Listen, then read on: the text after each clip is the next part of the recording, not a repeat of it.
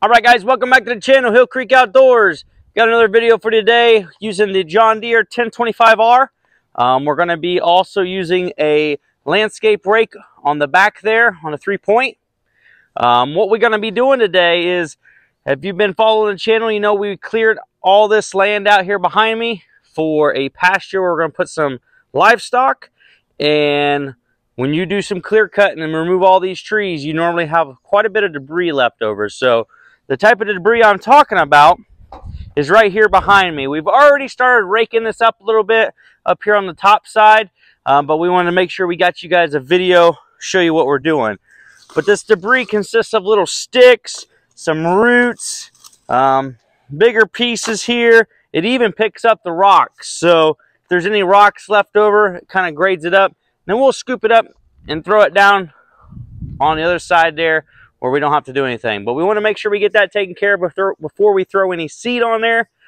That way we don't have any issues moving forward and it's nice and clean. So without further ado, we're going to go ahead and jump on the tractor here. We don't have very much time because one of my boys has a baseball game. So we're going to do as much as we can, get you some footage of it. And I hope you guys enjoy. So the John Deere 1025R can do all kind of things. And this is just another thing. So don't forget to like and subscribe, and let's get going. Thank you.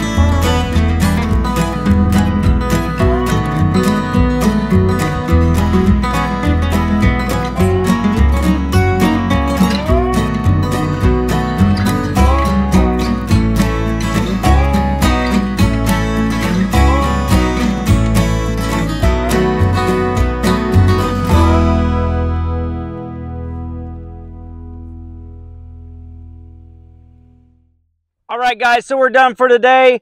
Um, right where I'm standing, this is actually two passes um, on this area. Right over here is a one pass, so you can see the difference between. We're probably going to do about three to four passes on the whole um, thing just to get it where, where I want it. You can see the difference here. Look, look how nice and fine that is. There's a little bit of debris in here still, but not too much. Uh, I think we're getting right where we need to be. So I hope you guys enjoyed this video, was able to sit back and relax and watch that John Deere 1025R work, pulling that landscape uh, rake there behind it. So, hey, don't forget to hit that bell notification so you know when we post all of our videos, as well as hit the like and subscribe.